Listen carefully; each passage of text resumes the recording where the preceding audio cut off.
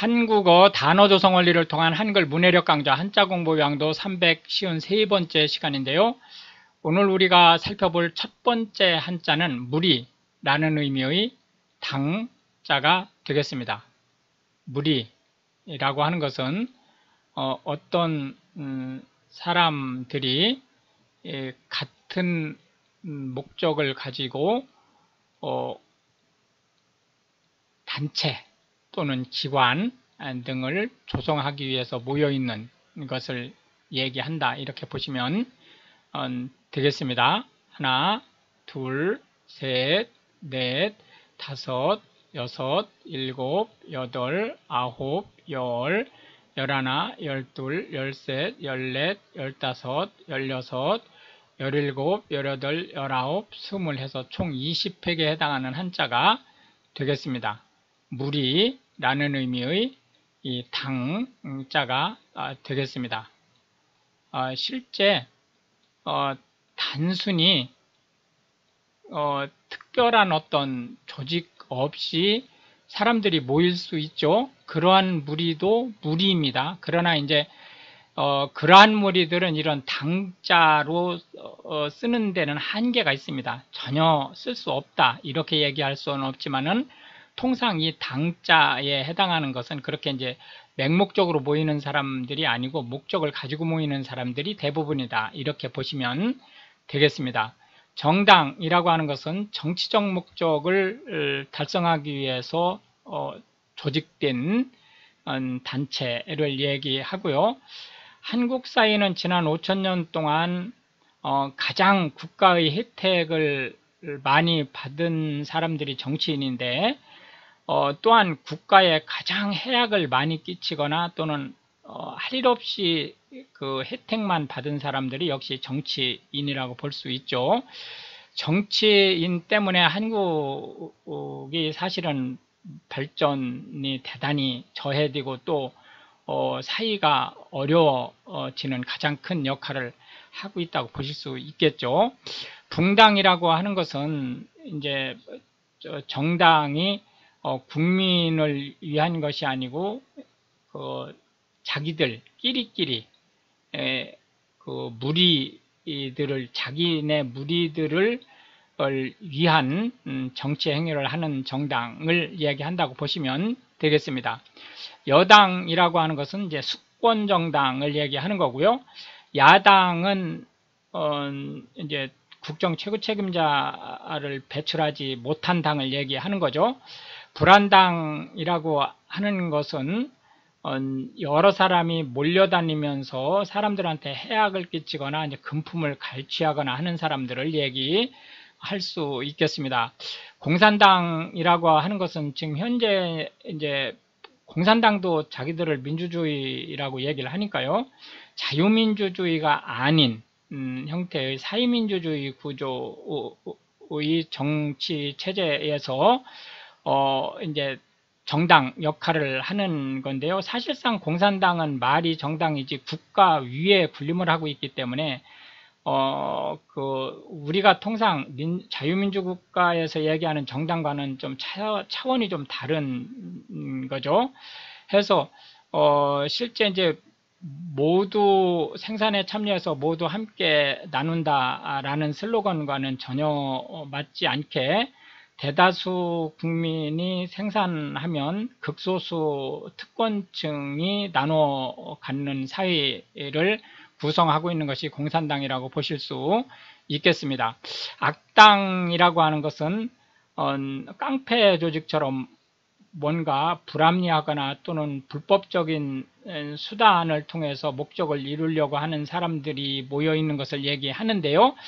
현대 한국어에서 악당은 꼭 무리가 아니라도 악당이라는 말을 붙일 수 있습니다. 예를 들어서 특정인 개인한테도 악당, 나쁜 놈이다 라는 뜻으로 악당이라는 말을 쓴다 라고 보시면 되겠고요.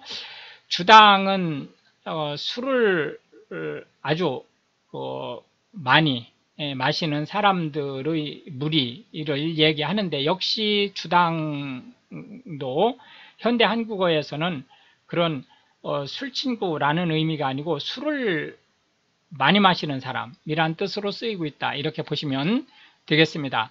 작당이라고 하는 것은 어, 어떤 목적, 그 목적이 이제 선의의 목적이 아니고 주로 이제 악의 의 목적을 달성하기 위해서 어, 모인 무리 또는 무리를 형성하는 것을 작당이라고 얘기를 하는데요. 어, 이것은 이제 누군가를 해코지하기 위해서 또는 불법적인 방법을 통해서 이득을 꾀하기 위해서 어, 두 사람 이상이 서로 의기투합하는 것을 작당이라고 얘기를 합니다. 해서 무리라는 의미의 당자에 대한 반대 개념으로는 어, 개개인이라는 의미의 개자를 들어보았습니다. 두 번째로 살펴볼 한자는 들보, 대들보라는 의미의 량 자가 되겠습니다. 당연히 이제 단어 어, 첫 글자로 올 때는 양 자로 읽히게 에, 된다는 거 염두에다 두시고요.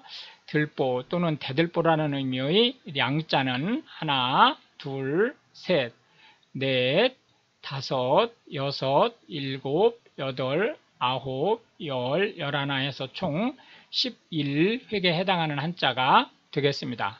그래서 량자, 들보 또는 대들보라는 의미의 량자를 살펴보고 있습니다. 어, 양옥과 달리 한옥은 이 대들보가 대단히 중요한 역할을 합니다. 어, 전체 지지대를 대들보를 중심으로 해서 엮어지기 때문에 어, 대들보가 가장 중요한 뼈대, 건물의 뼈대가 된다라는 측면에서 어, 한옥에서는 대들보가 가장 중요한 역할을 하고 있다라고 보시면 되겠고요. 어, 동량이라고 하면 기둥과 기둥과 대들보라는 뜻인데 현대 한국어에서는 동량을 기둥과 대들보라는 말로 보다는 어, 사회에 크게 기여할 인재라는 뜻으로 쓰이고 있다 이렇게 보시면 되겠습니다. 교량이라고 하는 것은 원래는 내나 강을 건너기 위한 어, 구축물을 얘기하는데요. 지금은 이제 꼭 뭐 내나 강을 건너는 것뿐만이 아니고 바다를 건널 수도 있고 또 어, 육지에서 길을 건너기 위한 육교를 이제 교량으로 어, 가설할 수 있죠. 양상군자라고 하는 것은 이 양상이 대들보라는 뜻이죠. 해서 대들보 위에 있는 사람이다라는 뜻으로 도둑놈을 좋은 말로 표현한 것이라고 보실 수 있겠습니다. 명량대첩이라고 하는 것은 어, 이제 이순신 장군이 그 실각돼서 어, 그 최고 책임자 자리에서 물러나 있는 동안에 이제 수군이 거의 괴멸 상태에 빠져서 어, 배가 12척밖에 안 넘었다라는 이제 설이 있죠. 근데 이 고증에 의해서 12척이 정확한 건 아닙니다. 그러나 어쨌든 12척의 어, 배를 가지고 사실상 임진왜란을 종식시키는 어, 대승을 거둔, 거둔 해전을 우리가 명량 대첩이다. 이렇게 얘기를 하고 있습니다. 상량이라고 하는 것은 이제 대들보를 올리는 건축을 할 때 대들보를 올리는 걸 얘기하는 거고요.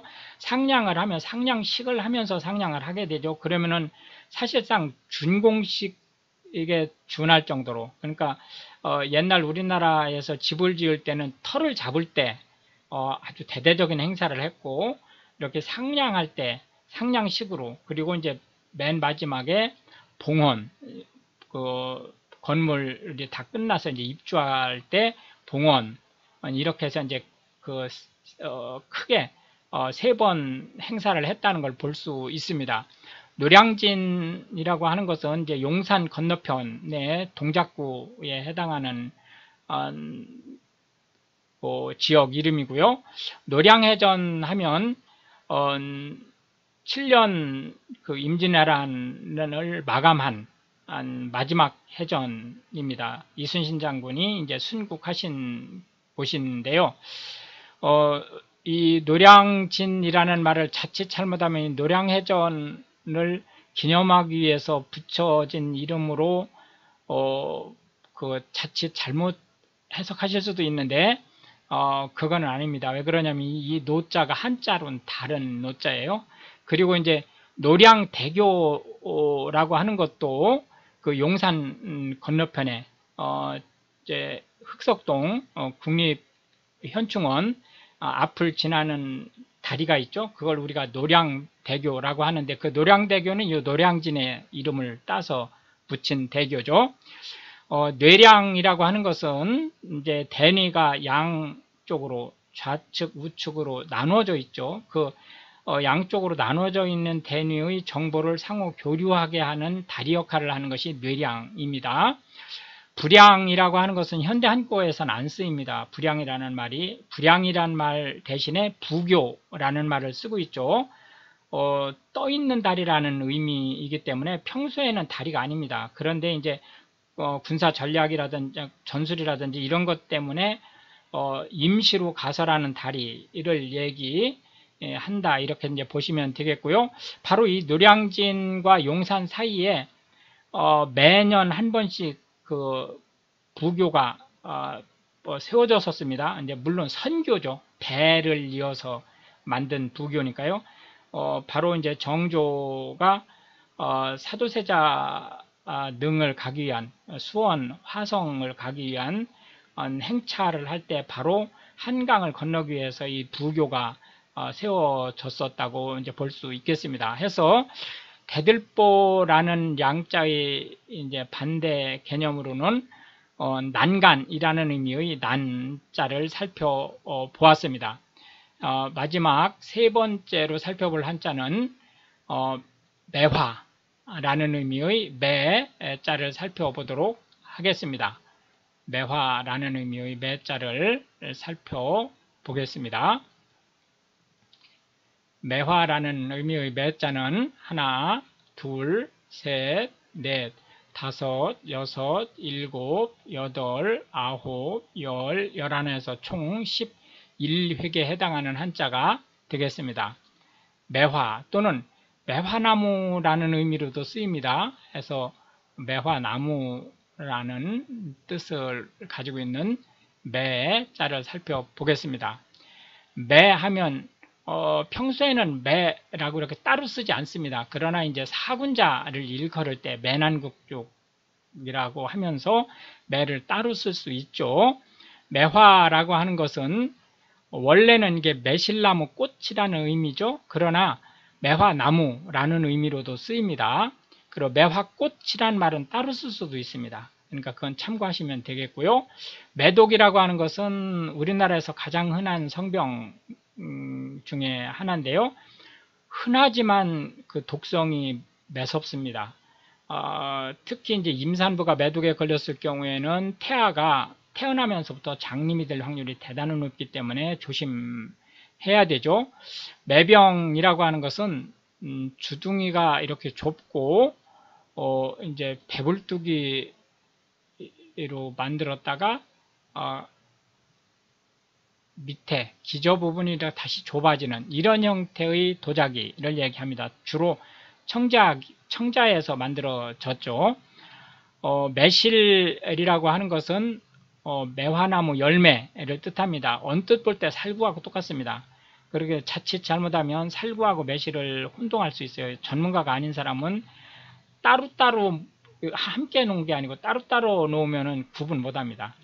근데 어쨌든 이 매실은 어, 익지 않은 거로 매실청을 담거나 또는 어, 발효액을 만드는 것은 조심해야 됩니다.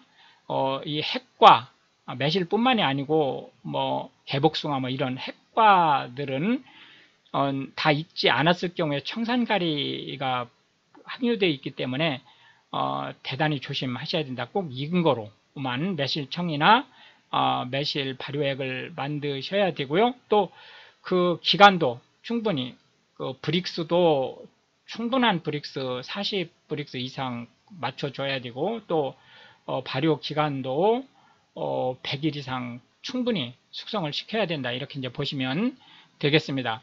설중매라고 하는 것은 이제 눈 가운데 꽃이 핀 배를 얘기하는 거죠. 어, 이 사나 그 어, 사군자 중에서도 매가 어, 특히 이제 어, 기대를 모으는 것 중에 하나가 바로 어, 눈이 오는 추운 계절에도 홀로 아주 그 당차게 꽃을 피운다라는 것 때문에 그 사군자에서 대단히 가치를 을 평가받고 있는 거기 때문에 이제 설중매가 그런 측면에서 대단히 의미를 가지고 있는 거죠. 매작과라고 하는 것은 어, 밀가루를 이렇게 네모나게 반죽을 하고 여기에 이제 칼집을 내서 이거를 위쪽으로 이렇게 넣어 가지고 이런 식으로 이제 꽈배기처럼 만들죠. 하고 이걸 기름에 튀긴 뒤에 설탕 그 용액이나 또는 꿀로 어, 젠 음, 간식을 얘기합니다. 전통 한과에 들어가는 거죠. 어, 황매화라고 하는 것은 노란색 꽃의 장미의 일종입니다. 어, 매화라고 해서 매화하고 같은 이 매화하고 같은 의미로 보시면 안 되고요. 이거는 어, 들장미, 덩굴로 뻗어나가는 들장미의 일종이라고 보시면 되겠습니다. 해서 사군자 중에서 이제 그 꽃의 메, 메인이고 겨울에 어, 꽃이 피는 특히 이제 나무라는 측면에서 어, 꽃에 별 관심이 없고 풀, 1년생 풀인 음, 그리고 이제 여름에 성한 대나무를 상대 개념으로 들어 보았습니다.